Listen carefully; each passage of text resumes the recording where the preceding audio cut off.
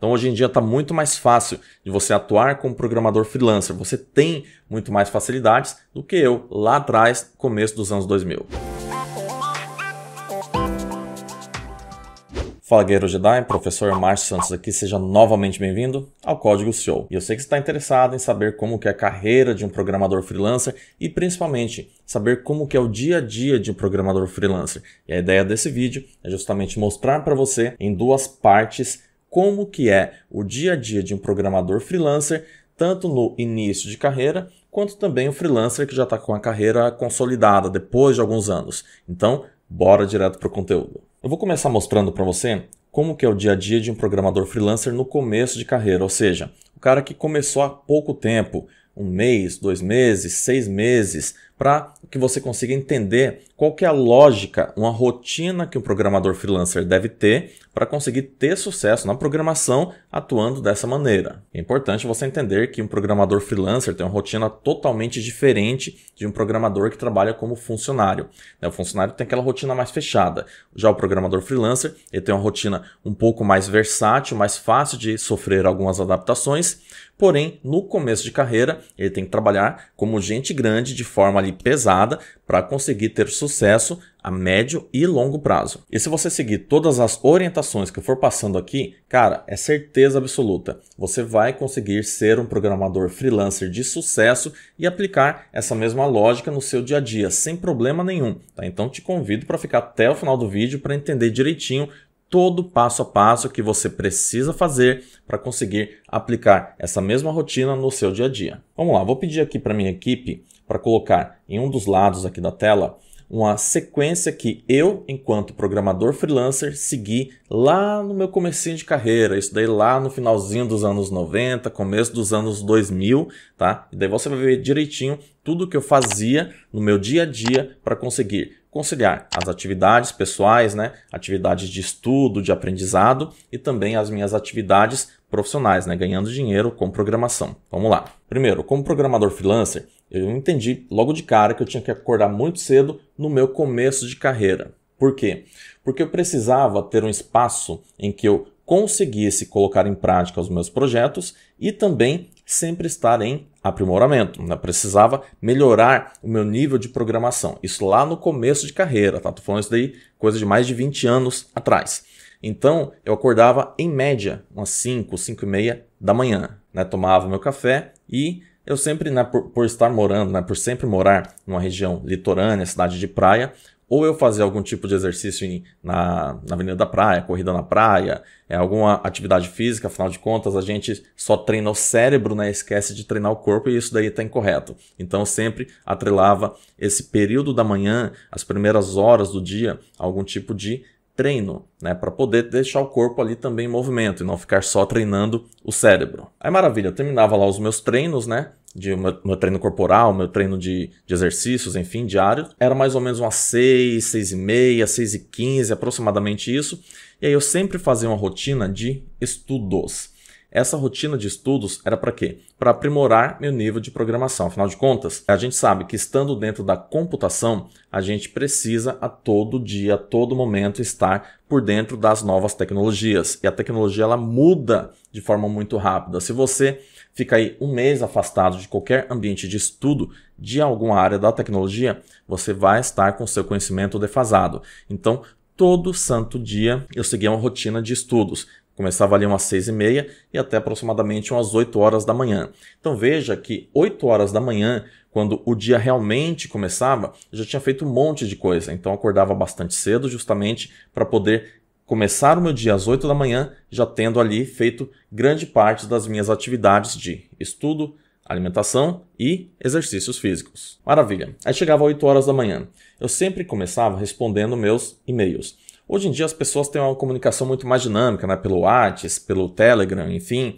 Mas lá atrás o negócio era e-mail, cara. Então você tinha uma comunicação muito mais pesada por e-mail. A nível empresarial, e eu sempre entendi isso justamente pela minha atuação como freelancer de perfil empresarial, eu sempre gostei de utilizar e-mails. Motivo: você tem um protocolo definitivo, com data, horário, assinatura, tudo direitinho comprovando o que você mandou e o que você recebeu. Isso daqui a nível empresarial é fundamental. Ah, professor, mas eu vou ser um freelancer. Pois é, você tem que ser um freelancer de perfil empresarial, senão você, além de ganhar bem menos, né, como freelancer de perfil autônomo ou funcionário, você vai acabar tendo alguns problemas de crescimento e escalabilidade. Tá? Então eu recomendo fortemente que você atue com perfil empresarial. Não é que você tem que ter empresa aberta, não estou falando disso. Tá? Se você tiver, melhor. Mas você tem que ter um perfil de empresa, mesmo não tendo empresa aberta. Então, lá no passado, né, usava e-mails, né, respondia meus e-mails na parte da manhã, depois é, mensagens de MSN, né, para quem das antigas sabe muito bem o que, que eu estou falando. SMS era muito comum, isso daí lá no comecinho dos anos 2000, então tudo era feito assim. Hoje em dia não, né? Hoje em dia a gente resolve muitas da, das coisas por WhatsApp, ou então até mesmo pelo Telegram. A gente dinamizou os meios de comunicação. E por padrão, eu fazia esse processo das 8 até as 9 da manhã. Então tinha uma hora praticamente para poder responder e-mails do dia anterior, né? E manter a minha agenda ali tudo em ordem, tudo funcionando até as 9 da manhã. Porque às 9 da manhã eu começava uma das etapas cruciais que todo freelancer deveria fazer e não faz: a captação de clientes. Pois é, você precisa ter um processo de captação e na minha época, né, lá no começo de carreira, eu demorava uma média de duas horas, duas horas e meia, três horas aproximadamente, né, das nove até umas onze e meia ou meio-dia, fazendo captação de clientes. Só que a captação naquela época era um pouco mais manual, era na base do telefone mesmo, entendeu? Era na base de vendo empresas na internet e entrando em contato com elas por telefone para poder oferecer o serviço e tal. Era um negócio um pouco mais manual mesmo, arcaico, no um a um. Hoje em dia, para você que vai entrar na carreira de freelancer, está tudo muito mais fácil.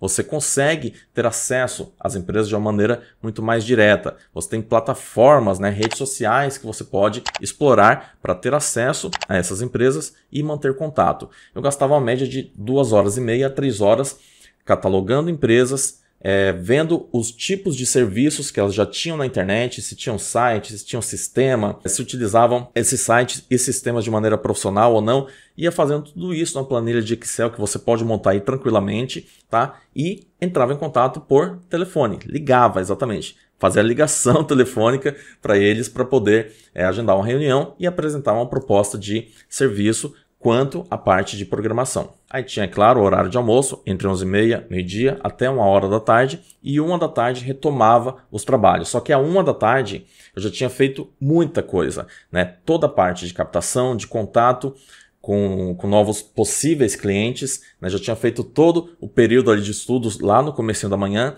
e uma da tarde é quando eu começava de fato a programar. Eu ia dar uma da tarde até as nove da noite, às vezes extrapolava um pouco, para conseguir fazer toda a demanda de projetos que eu tinha. E sim, devido à grande captação que eu fazia no período da manhã, eu sempre tinha projetos. Por isso eu digo que para você ser um freelancer de perfil autônomo, que é aquele cara mais largadão, é, você vai ficar sem projeto, isso daí é fato. Mas se você for um freelancer de perfil empresarial, você vai ter projeto todo mês para fazer, todo dia para fazer. Você não vai ficar parado. Só que você tem que seguir ali uma linha é, coesa de trabalho. Se você ficar só querendo pagar as contas do mês, aí você não vai ganhar dinheiro e depois vai ficar falando que ser freelancer não dá dinheiro. Não é que não dá dinheiro, é você que está trabalhando da maneira incorreta. Então, da uma até as nove da noite é quando eu colocava de fato em prática o meu lado programador. Na parte da manhã, eu estava meio que gerenciando as coisas, captando clientes, deixando toda a estrutura da minha empresa funcionando,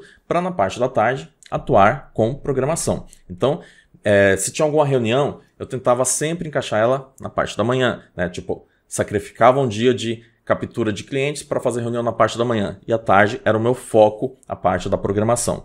Claro, se porventura algum cliente marcasse uma reunião para a parte da tarde, aí tudo bem, eu tinha que fazer. Então tinha que fazer reunião na parte da tarde. Mas eu tentava ao máximo concentrar as minhas reuniões na parte da manhã. E sempre eu tentava definir um dia específico para ir ao centro resolver as coisas, né? Era muito comum antes, você tinha que resolver alguma coisa em banco, você tinha que ir presencialmente, não dá para fazer pela internet.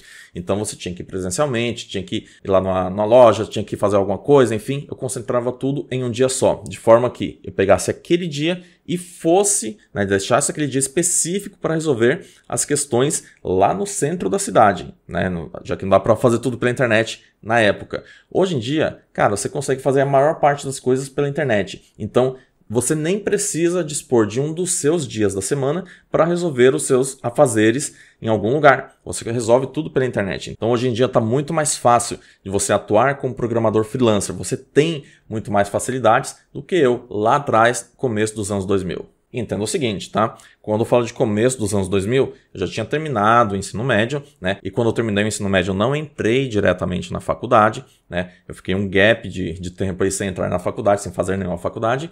E aí, por isso, eu tinha essa agenda. Depois, quando eu entrei na faculdade, né, eu estava na parte noturna, então tive que adaptar algumas coisas. Mas aí que está o grande quê. Enquanto programador freelancer, você tem essa facilidade de adaptar a sua agenda. Você não precisa ficar com aquela agenda presa, aquela agenda congelada que você não consegue mexer, não pode mudar uma coisa daqui, colocar no outro lugar, que alguém vai reclamar. Enfim, você como freelancer tem essas facilidades. Já um programador funcionário, infelizmente, fica preso ali naquele horário e não tem o que fazer. Né? Aquilo que a empresa determinou para ele, vai ter que cumprir aquele horário e já era. Se ele trabalha até 8 da noite, já era. O cara não consegue fazer uma faculdade na parte noturna. Se ele entra no, no, no serviço duas da tarde, já era, não tem o que fazer, à tarde ele vai ter que estar trabalhando. E dessa forma que funciona o trabalho de um programador funcionário, em detrimento ao programador freelancer, que tem muito mais flexibilidade dentro do seu dia a dia de trabalho. E só para você entender, depois, quando eu comecei a dar aulas também, né, tanto em faculdade quanto em ensino médio, aí, obviamente, minha agenda precisou passar por uma mutação muito grande. Hoje em dia, por exemplo, eu tenho parte da semana dedicada à atuação com programação. Né? Só que a minha empresa hoje em dia ela já está meio que no piloto automático. E aí que entra a grande sacada do programador freelancer de perfil empresarial. No começo, você vai trabalhar como um condenado, presta atenção. No começo, você vai trabalhar no ritmo frenético. Lembra, eu falei que acordava umas 5, 5 e meia da manhã e encerrava minhas atividades do dia mais ou menos 9, 9 e meia, 10 horas da noite. Então, é um ritmo frenético no começo. Porém, isso não dura para sempre. Se você trabalhar da forma correta, desenvolver sistemas que conseguem gerar uma renda recorrente para você, gerar uma renda que você não precisa estar atuando para aquela grana cair na sua conta todo mês, você consegue organizar a sua vida de forma que com o passar do tempo, você trabalhe menos e continue aumentando a sua lucratividade. Isso é ser freelancer de perfil empresarial. E aguenta aí comigo que eu vou te mostrar o passo a passo para que você consiga aplicar essa mesma lógica aí no seu dia a dia e começar a ter essa visão de freelancer de perfil empresarial na prática. Fica comigo até o final do vídeo. Maravilha. Então tudo isso que eu mostrei para você foi lá no começo de carreira. E hoje em dia, professor, como que está a sua carreira de programador freelancer de perfil empresarial Hoje em dia, já que já estou com a carreira estável. Bom, hoje em dia eu sigo um ritmo mais light. Afinal de contas, eu já estruturei todos os processos da minha empresa de forma que esses processos rodam no piloto automático. Então eu tenho meses, por exemplo, que eu sequer preciso pegar projetos para continuar caindo dinheiro na conta. Pois é, exatamente. Vou repetir para você. Tem meses que eu não preciso sequer pegar projetos para continuar caindo dinheiro na conta. E aí eu consigo me dedicar a outros projetos, consigo me dedicar às minhas aulas, né? Tenho meus projetos particulares, tenho meus cursos, tenho as aulas que eu dou em algumas faculdades na área de computação, matemática, física. Quem me segue algum tempo sabe que eu tenho atuação nesses três segmentos. Enfim, isso eu só consegui por quê? Porque lá atrás eu trabalhei da forma correta, estruturei a minha carreira, apontei o jeito que eu queria atuar com programação e hoje em dia eu consigo ter essa tranquilidade de estar fazendo meus outros projetos paralelos e a grana de programação como freelancer continua caindo. Lógico, não significa que eu não pegue projetos hoje em dia, pelo contrário, eu ainda pego bastante projeto hoje em dia, mas eu não preciso correr atrás de projeto. Não sei se está conseguindo entender a pegada. Eu não preciso correr atrás de projetos porque a renda recorrente de projetos que eu desenvolvi no passado e até recentemente também, essa renda continua caindo, continua pingando na conta mês pós mês. Essa que é a pegada que você tem que entender. Eu quero que você coloque na sua cabeça que é possível qualquer pessoa, qualquer programador atuar nesse nível de freelancer com perfil empresarial. Eu vou fazer uma mentoria gratuita no começo do mês, mostrando passo a passo de como que você consegue ter uma renda recorrente com programação freelancer né? Porque você não precisa trabalhar como funcionário para conseguir ter uma renda. Na verdade, eu não enxergo motivo porque alguém gostaria de trabalhar como funcionário, né? Porque a renda é baixa, o cara tem que ter um nível, né, para poder entrar dentro do mercado, júnior, pleno, sênior. O cara tem um monte de restrições para conseguir entrar no mercado.